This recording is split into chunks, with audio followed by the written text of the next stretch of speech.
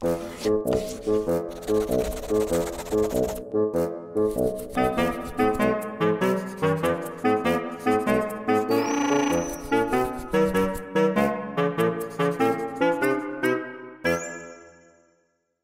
大家好，我们是第六组，然后这是我们的题目，我们要做的是 Home Care Robot，就是居家看护机器人，然后这边是我们组员，然后这是我们现在现在完成到目前阶段的 Ducky Bar，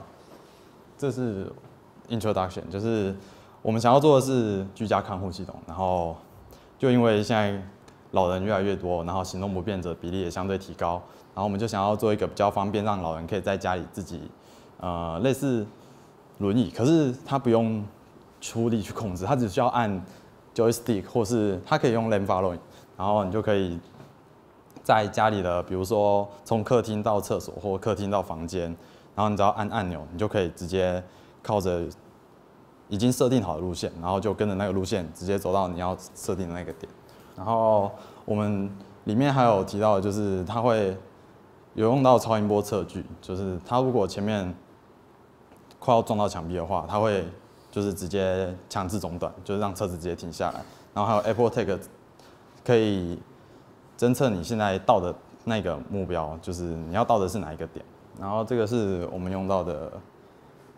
设备，还有这是我们的架构图。然后这就是我们现在目前完成 demo 的地图，就是一开始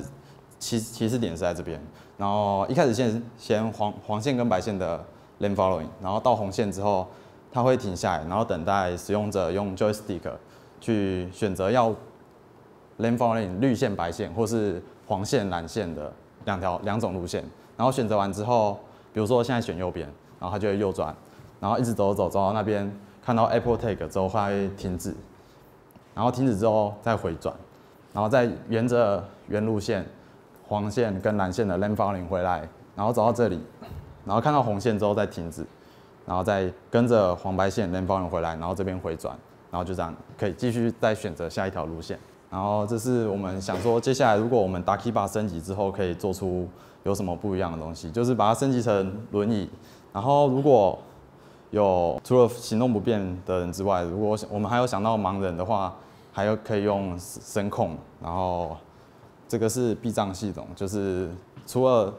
到目的地目的地的那个距离侦测之外，如果在路径上也有遇到障碍物的话，也可以就是强制停止。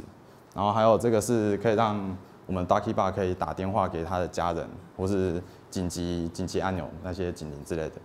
好，这就是我们的报告，谢谢大家。